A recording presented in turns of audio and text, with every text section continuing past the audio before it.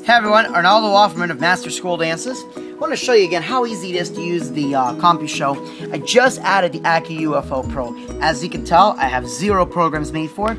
I have switches. And um, let me show you how easy it is real quick.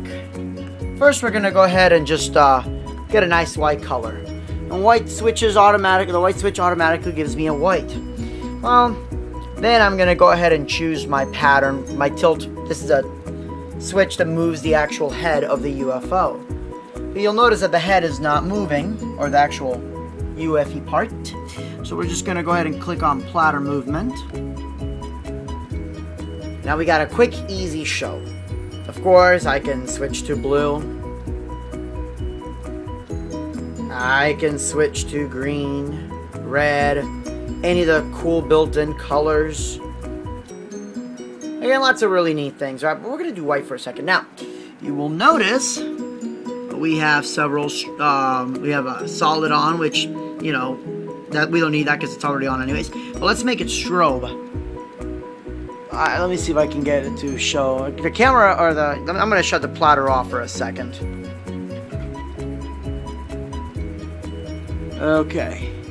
So you'll notice the strobe there. Let's shut off all movement. Oh, the um, it's not picking it up, the phone, because it's strobing so fast. This is like a medium strobe. I mean, nice. There we go. So we have that. Uh, let's go ahead and hit the. And again, super easy, crazy show. It's going to look obviously a lot more amazing with haze. But again, it gives you a nice true strobe because, you know, first it blanks out this way, then it goes the other way. And of course, I can change the colors right then and there too. Another thing that I thought was actually kind of neat, let's go ahead and shut off all platter movement, is that it also has uh, a pulse to the music, which again, you really can't see, but I can have a pulse to the music. And I even have two individuals levels of strobe. So I have like strobe 1 and strobe 2 so if I don't want to have to keep moving the wheel, I can have them exactly where I like, so I can just quickly switch back and forth. Now, the other neat thing is, let's go ahead and go back to normal level. Uh, there's also built-in color patterns. And the color patterns, as you can see there, mean that I don't have to sit there programming this thing for hours. Because it takes a while to program this. Okay, so again, you can see it there, etc. Now you'll notice again a pattern movement. What happens when we spin the platter? Let's go ahead and spin it. So again, it gives you this really trippy movement that the platter is moving, but then again, so are the array of LEDs inside. Allow me to show you. Hang on one second. Let's see if we can get it.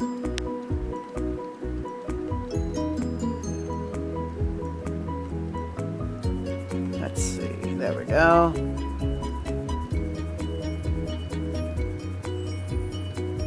So again, really cool chase all the way around. Of course, it looks 10 times more amazing with haze. This is my favorite right here. You'll notice that the lights are there, but they stop. They're nowhere else in the room, but it slowly, like, it only hits like a certain amount of degrees as the platter is moving. So watch it over here. You'll see how the array of lights are slowly moving in the same direction that the platter is moving a lot faster. But let's make now the platter move the other way around. The platter is moving the other way around, but the lights are still going in the same direction. Let me tell you, with, with haze, this is an absolutely beautiful effect.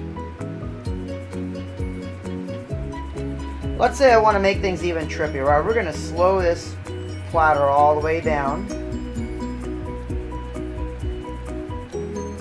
Kind of see it there. And I'm going to move the UFO color array really fast. So again, you can actually see how it's going all the way around despite the fact that the platter is moving in the opposite direction. Again, really trippy effect, especially with haze. It's just an absolutely beautiful light. You'll see it going all the way around. And again, made all that quickly and easy just by adding the light in using the, uh, you know, built-in uh, program profiles for the lights. So again, great. I can just plug in a light, use it right away, not have to worry about, you know, DMX, uh, uh, making DMX shows or anything. Because this is not really a light that you want to do a lot of shows for. Just because there's so many different possibilities that it's going to drive you nuts. You know, of course, I can add shows if I want. If there's a specific thing that I like, I can make a show for it. But why?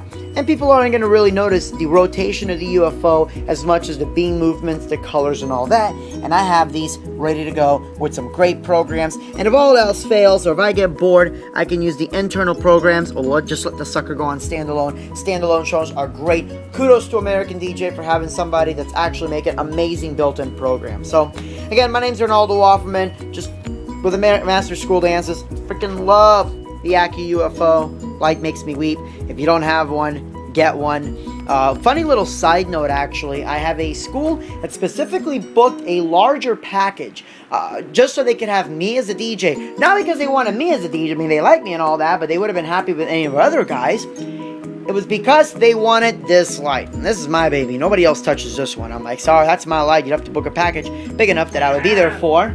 And they're like, yeah. Now, Monica likes to pretend that's her light, but we all know the truth here. So, Ronaldo Hoffman Master School Dances, possibly sleeping on the couch tonight. God bless. Oh, yeah. You can make that cool little pattern also strobe as well. You'll uh, notice that it's strobing. Monica just saw. I was like, hey, we should make that strobe. Just incredible. Incredible. So, yes, there it is. Accu UFO, full of UFO goodness.